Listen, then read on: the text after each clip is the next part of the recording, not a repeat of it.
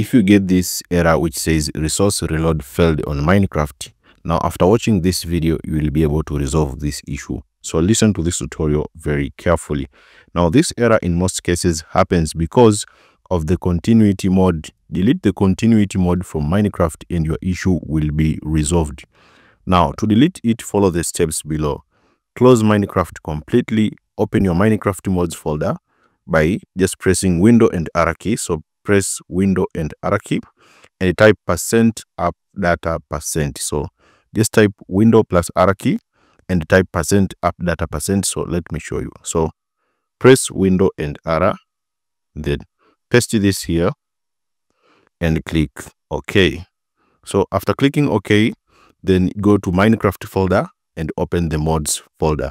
Now find the file named continuity dot yeah so file the find the file named continuity and delete it. Restart minecraft and check if the issue is gone. Now if you're still facing again the same issue if you're using continuity with sodium you must also install indium and your problem will be resolved. So if you're using continuity with sodium you must also install indium and your problem will be resolved. Now how to install indium? Now download indium from this or the CurseForge website. I prefer the CurseForge website. The link will be available on the description.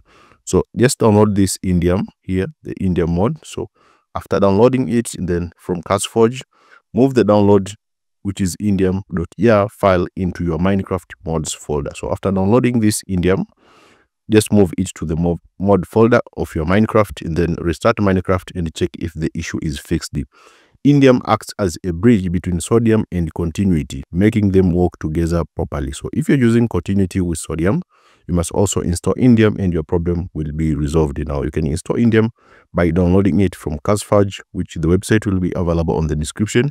Now after downloading it, move it to the mods folder and you restart your Minecraft and the issue will be resolved. Now if you're still facing again the same issue, if this doesn't resolve the problem, you can use binary split method to find the broken resource pack. Here's how.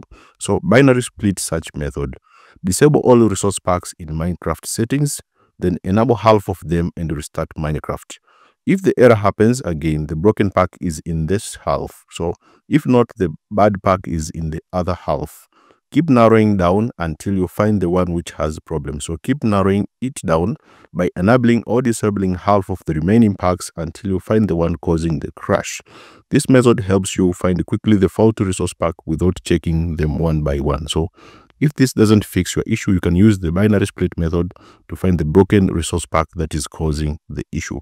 So this is the best guide to fix the resource reload failed but in most cases these ones are the one which can help you resolve the issue. So just delete the continuity mode folder and can also help you resolve this error